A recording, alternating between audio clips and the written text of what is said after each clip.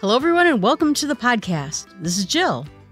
Have you ever wondered what kind of framework you can use from lawyers to make better decisions and research an idea properly?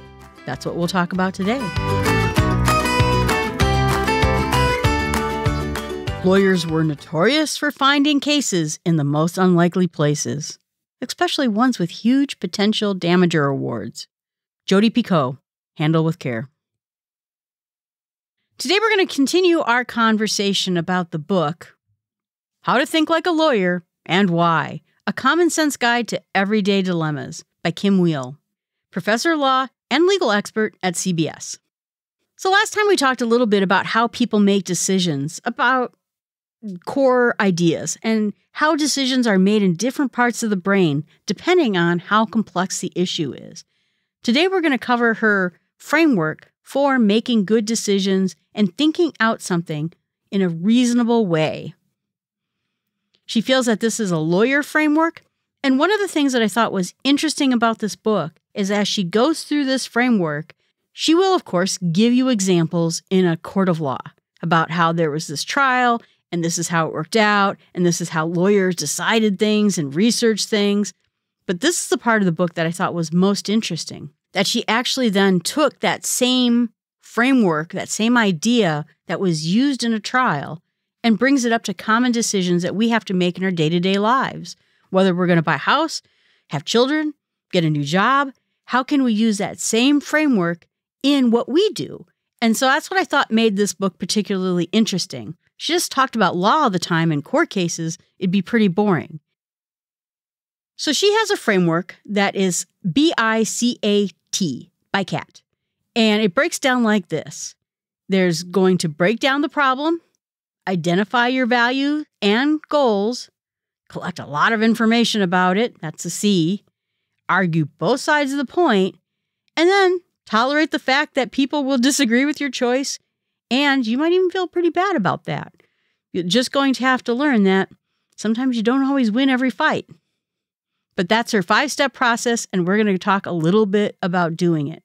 She says that when we're trying to come up with these decisions, she talked a little bit about the different parts of the brain and how they come together so that we can make decisions, whether they're simple decisions based on noodles or complex decisions based on moral decisions, and how our brain brings all of those together. All the hormones, the cortisol, the, the adrenaline, the glucose in our system that gives us that ability to make decisions, whether we're stressed or not stressed, but our systems work together to give us the best possibility. Some of these decisions have to come really fast, like there's a rustle in the woods. Is that a bear and I have to run away from the bear? Or is it a raccoon trying to eat all the food in my campsite? That happened when I was camping. I assumed it was a raccoon. But why did I assume it was a raccoon? Because my heuristics tells me that in this particular part of the state, chances are it was more likely a raccoon than a bear. Other places in the world, that decision, that information or heuristics might be different. But all that comes together to help me make a quick decision do I need to run into my car or do I just tell the raccoon to go away? A wrong decision could mean something very dangerous if we don't do it correctly. We have to decide in any given decision whether something is a threat to our being or if it's just a simple raccoon in the woods. She said that lawyers have to get their ideas right. They have to break the problem down into small pieces and then even smaller pieces. She says it's almost like a jigsaw puzzle sitting on a table and you're looking at all the pieces and you begin working through the problem one by one as you're trying to piece together the solution from the puzzle you just broke apart. It's much like that, where you're really bringing it down into those core essence. Then she said that when you're trying to solve the problem of the puzzle that you just broke down, it comes into two different ways. She said one way can be a story way, what she calls, quote, once upon a time. That you're telling a story of something. If you were a lawyer that was talking about why one person assaulted another person. It could be a story that gets him out. Once upon a time, this guy found out that his best friend ripped him off, and that's why they got into a fight. It's a story involved in there. It's not really facts or figures. It's about what happened between these two people. And we get there when we break the story down, we look deep into the story, and we ask really good questions of what's going on. And she said that this can be everything from a house that we're going to buy. If we just look at the issue of buying a house, what kind of house do we want to get? How many rooms does it have? What problems are we trying to solve in our life with a house? You know, if you were in the pandemic and you were stuck in a very small apartment and you just wish you had some land that you could run free and let your dog out, those are part of the story when it comes to you buying a new house. If you're looking for a new job, that story becomes very complex because maybe you're going to get offered two jobs. You're going to get one offered one job that will eventually get you where you want to go, but it's going to take a decade to move up the ladder. Or this other company, which is going to offer you a better position right off the bat, but you may never move up anywhere. Life is complicated, and she says that we have to make decisions in a relaxed way. We take a deep breath, we take our time, we thank the person who interviewed us for the time, let them know we'll get back to them. When I took my job at my last company, I had two or three jobs that were on the table. And I was debating between the three jobs. One was going to pay very well, but I don't think I was going to be very happy. And I think it would probably be a headache of a job. The other job that I think I would like very well had good potential. It was a software company, it was up and coming. That sounded pretty good. And then the last job was something that was really interesting to me. It was part of a hobby. I love weather. But the job would probably be frustrating. It probably was too far away from weather to make me that happy. And in the end, that company ended up selling to another company and moving out of the state entirely.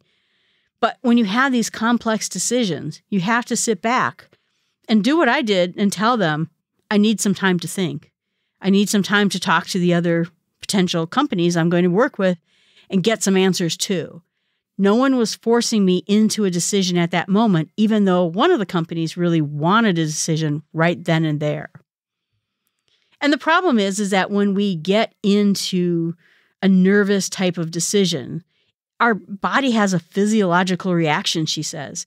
It makes us clumsy, we may get nervous, we may get sweaty, and our systems of stress may go into action.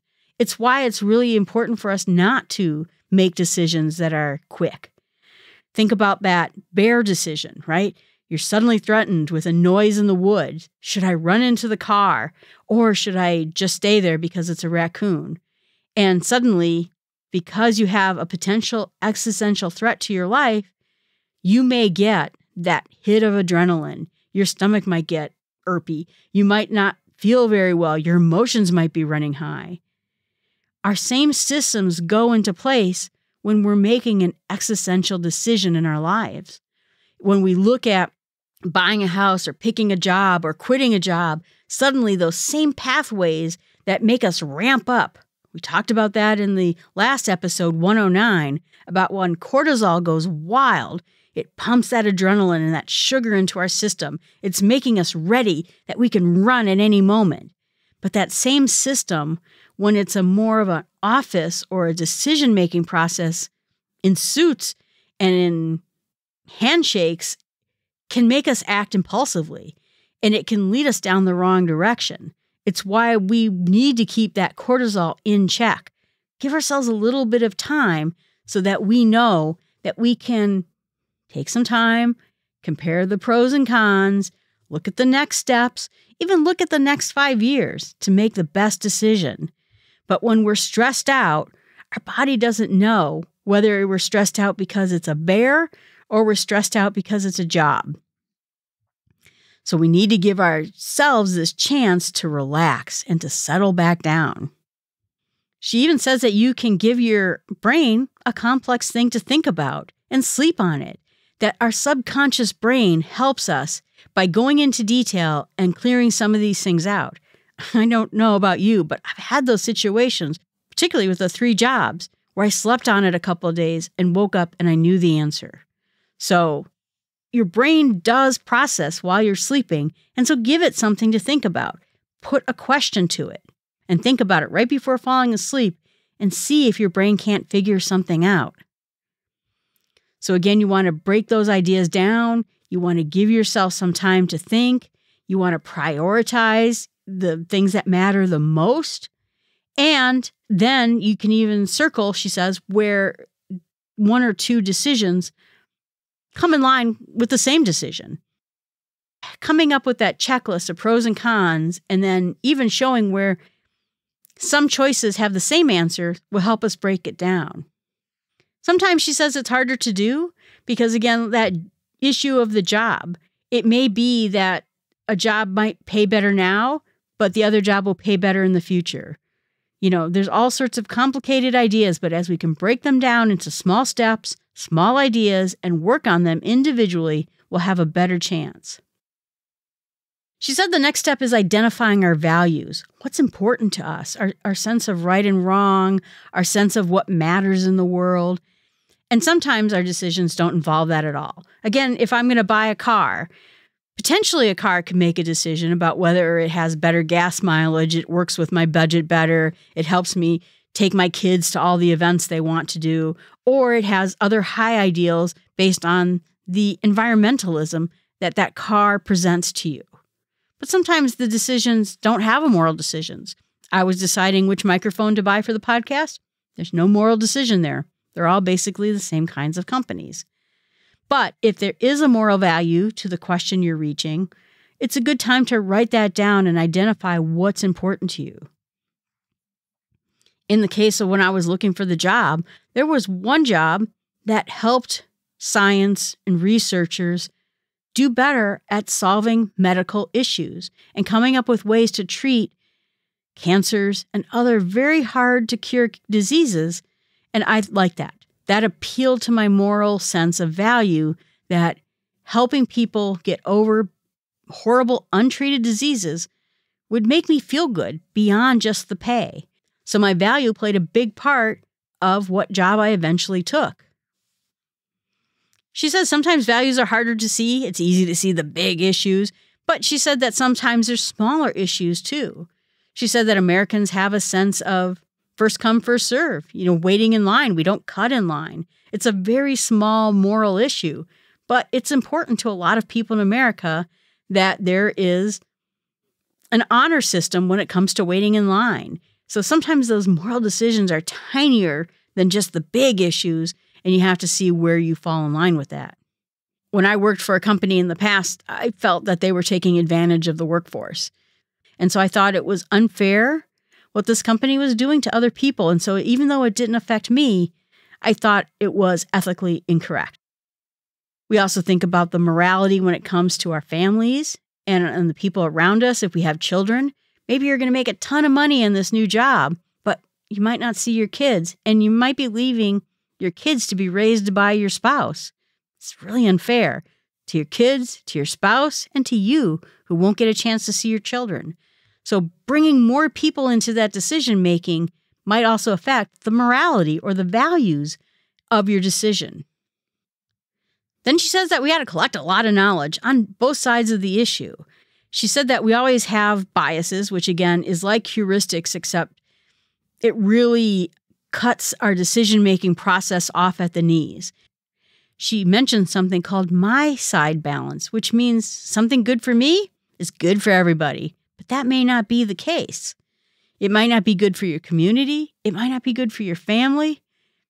So, just making sure that when you research something and you look at the quality and the vastness of the knowledge and you're looking at it from both sides, even arguing against the side you normally would want to take, that will help you get past biases and make solid decisions. You want to figure out, too, if you do have biases. Again, I know that I think technology fixes everything. And so I have a bias for that. And I have to check myself when I'm buying a new gadget is this thing going to really help me? Or am I just buying another gadget? And I know when I'm looking at it, I'm biased towards, of course, this will help me. Look, it's a new gadget. New gadgets always help me. But that's probably less true than I think it is. So when you come up with arguing against yourself for something else, again, you're not arguing against yourself because you're just trying to play the devil's advocate. Let's say I'm thinking about getting a new iPad. Oh, a new iPad would help me in so many ways. I could bring it here and I could bring it there and I could research my podcast while I'm sitting on my couch.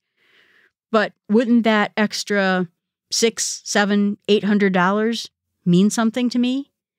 That's the other side. I'm not arguing against myself. Both sides are for me. Both sides represent a good in me. So it's important when you're arguing any type of thing that you do argue both sides because there's potential good in either direction.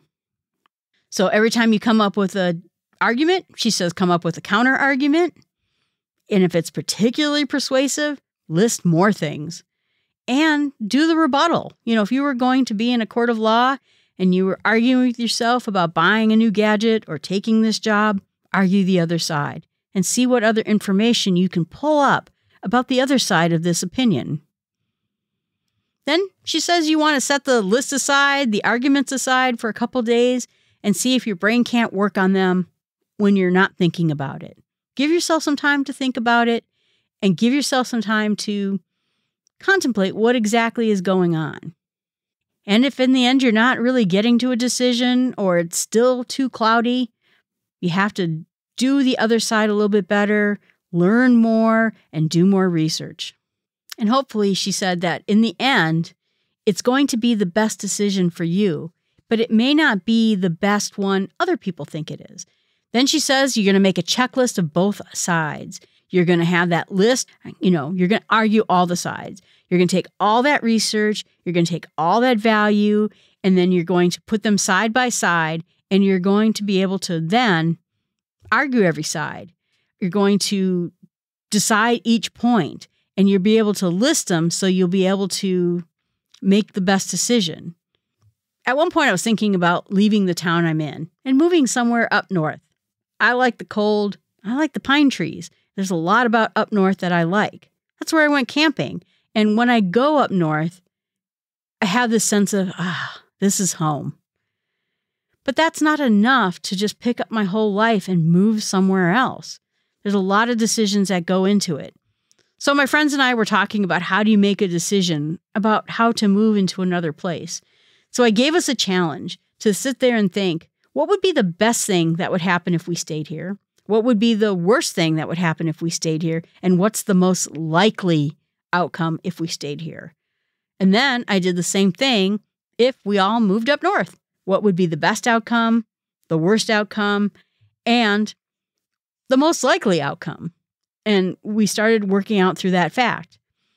We're still going through that process and we haven't come to a decision, but there were a lot of things based on the research that we did and then our checklisting, which is the step number four, that helped us see things a little bit more clearly. But now that we've done that, now that we've come to these decisions, we have a better idea about what to do. Then she says step five is tolerate the fact that people will disagree with our choices. And it may not make them a bad person. My friends do not like snow. I love the snow. I love harsh winters. I love the cold. And when it gets to about 83 degrees Fahrenheit, I melt. So to me, moving up north is a no brainer. But the people I care about, they're not sold on it. So I'm going to have to live with the fact, as they're going to have to live with the fact that we disagree on some key issues. It's the same thing whether you're talking about picking a job At some point you're going to have to do it.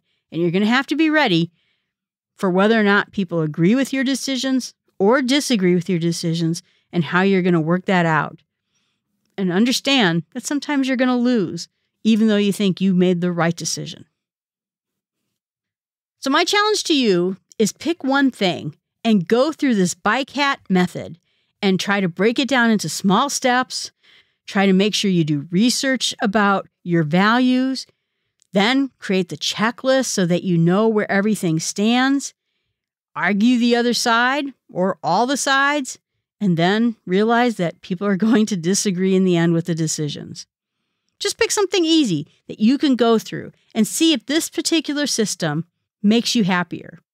I recommend this book. I think it had some interesting food for thought. I like, again, how she brought in real court cases and real life human decision making to make this book more interesting.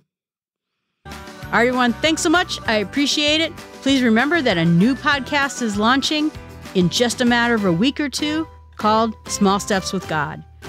And if you want new ways of thinking or improving your walk with God, this podcast might be for you. I hope you listen, you tell a friend, and subscribe to this podcast or the other one, or maybe even both.